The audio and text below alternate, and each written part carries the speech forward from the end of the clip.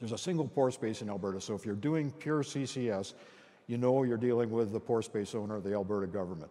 If you're in Texas and you're on, on land, you can't do that because each individual landowner owns to the center of the earth.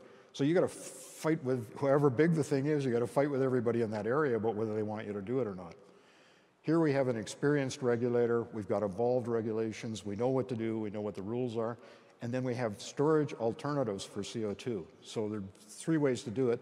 Pure CCS, that's down in the prehistoric ocean that no one's ever put anything into before, but everybody's saying you can do it. I'm a little bit skeptical of that, but I'm old. Second place you can put them is depleted gas reservoirs. You know gas was in there, and so you can put some other kind of gas or some other kind of liquid and be pretty sure it's not going to come out.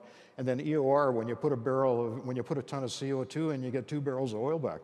So it helps pay for the system. If you do this in the other order, from the bottom up, then you, the system is building and being paid for without a bunch of subsidies. And I think the green world is cracking in some ways, and the amount of subsidies are not going to be as plentiful as they've been proposed.